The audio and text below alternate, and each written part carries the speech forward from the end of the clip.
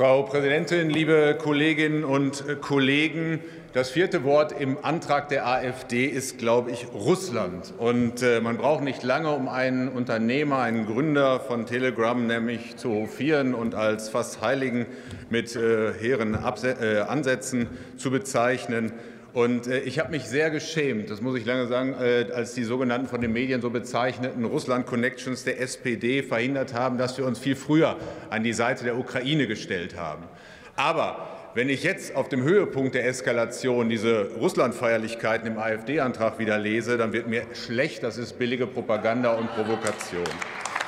Aber auch inhaltlich ist der Antrag mau. Vieles ist gesagt. Ich möchte nur anführen, dass beispielsweise in Telegram-Gruppen auch die Täter, die die Polizisten in Rheinland-Pfalz erschossen haben, sich haben feiern lassen.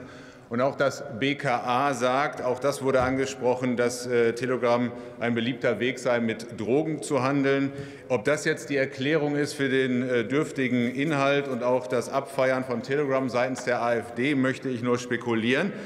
Aber Kollege, ich finde es schon. Kollege Henrichmann, gestatten Sie eine Frage oder Bemerkung der Abgeordneten Kota? Gerne.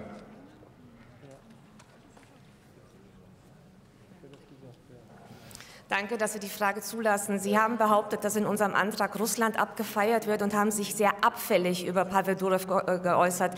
Ist Ihnen bewusst, dass dieser Mann Russland verlassen musste, weil er von der russischen Regierung unter Druck gesetzt worden ist, die Daten rauszugeben, weil er so unter Druck gesetzt worden ist, dass er um sein Leben fürchten musste. Und deswegen hat er mittlerweile auch eine andere Staatsangehörigkeit und taucht unter, weil er um sein Leben fürchten musste, weil er von Russland und von Putin weglaufen musste. Und Sie unterstellen mir, ich hätte im Antrag Tag Putin gelobt und, und, und beleidigen diesen Mann, der für die Freiheit gekämpft hat wie kein anderes. Kann es sein, dass Sie unseren Antrag nicht gelesen oder nicht verstanden haben, Herr Kollege?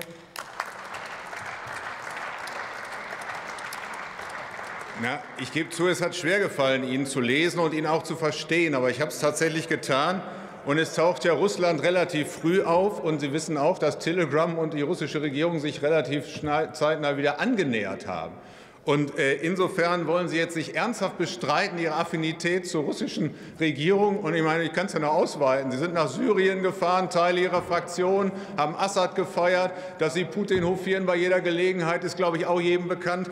Das ist schwach. Und ich finde ehrlicherweise, wenn Sie schreiben, es ist Privatsache der erwachsenen Nutzer von Telegram, auch das noch mal als Ergänzung, dann finde ich es hier schon ziemlich schräg, was in Ihrem, äh, in Ihrem Antrag hier verbreitet wird. Also deswegen brauchen wir, glaube ich, über Ihre Russland-Affinität nicht weiter zu sprechen.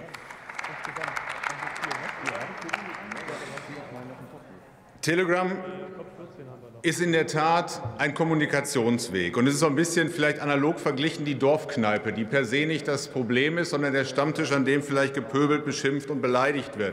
Da muss angesetzt werden.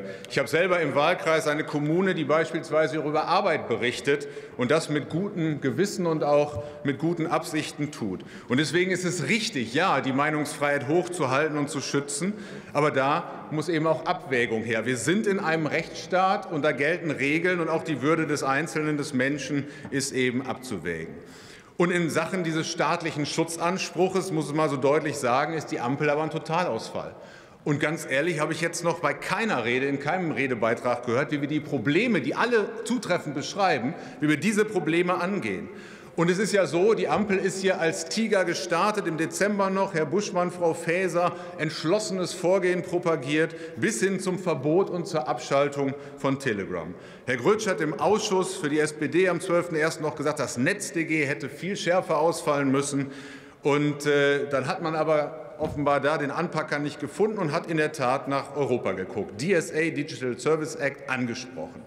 Position des Rates und des Europäischen Parlaments bleiben in wichtigen Punkten deutlich hinter dem Netzwerkdurchsetzungsgesetz zurück, so der Staatssekretär der SPD am 26.01.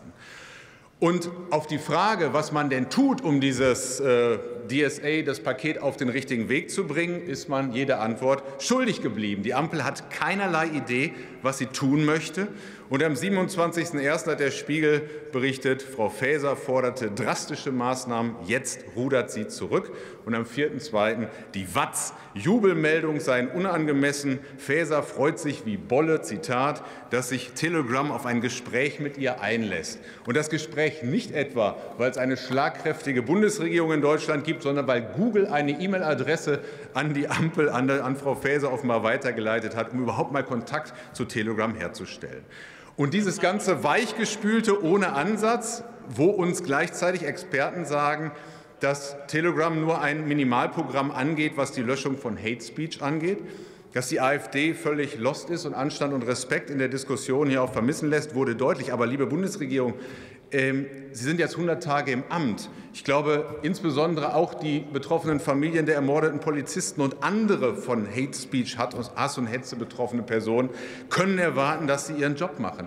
Und es reicht nicht, in Sonntagsreden zu fordern, dass Hass und Hetze entschieden bekämpft werden, wenn Sie an der Stelle nicht endlich konkret werden und uns sagen, was Sie vorhaben, um das zu unterbinden. Bislang habe ich hier nichts gehört. Den Antrag der AfD lehnen wir ab.